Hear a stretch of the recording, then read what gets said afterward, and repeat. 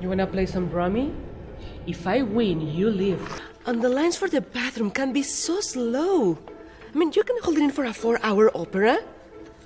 That's why I just wear an adult diaper.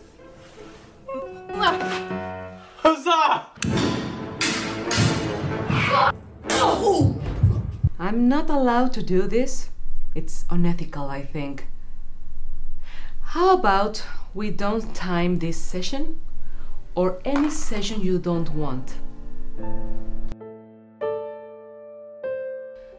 Somehow, everything would be easy again. Like when I was a kid. Everything you believe in will fall.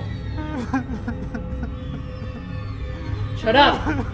Maybe because you took her to a fucking astrologer when she told you she was suicidal.